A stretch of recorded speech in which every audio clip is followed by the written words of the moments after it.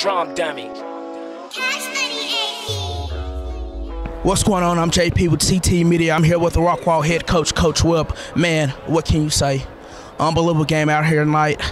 How great does it feel to get this victory? Well, it's it's one of the, the, the premier programs in the state. Um, Allen High School. They have a great team. They're well coached.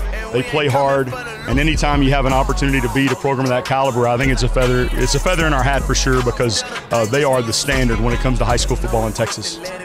Coach, can you uh, kind of walk me through the preparation uh, this week? Kind of getting re- uh, getting ready for a team like the Allen Eagles. What was preparation like this week? Well, I mean, you have to take advantage of every minute of every day because if you if you if you have one bad practice or you have one bad segment of practice, there's no way you're going to beat a team like that. You've got to be really on point um, th- throughout the entire week, and we made a big emphasis of that Monday morning, uh, and our kids took it to heart, and we had a wonderful week of preparation.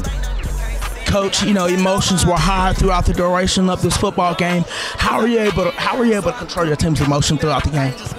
Well, um, it wasn't easy to keep them up. You know, it was just a matter of what I talked to them about is the, the, the science of deep breathing. Like I literally, when the bullets get to flying, where you're on the field or on the sideline, halftime, whatever, take a deep breath.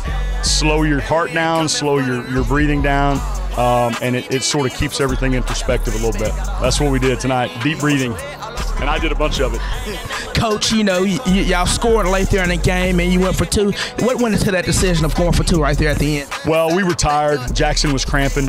I didn't want to go to overtime, so I just said, "Well, let's win it. Let's just win it right here." And we had a play. Uh, if we hadn't had a play, we thought we could execute. Um, then we, we would have kicked it, but we had a play we felt like we could execute. They actually defended it really well. Uh, we just had a kid made a play. Last question, Coach. How how great does this win, win feel to the Rockwall community? Well, I think judging by the reaction at the end of the game, I think they're pretty fired up about it. Great win, Coach. Congratulations on moving that time. Thank you. Thank you very much. Up with penny racks off in my hands. And we ain't coming for the loose, we want it all. Smoking drugs. Cause I need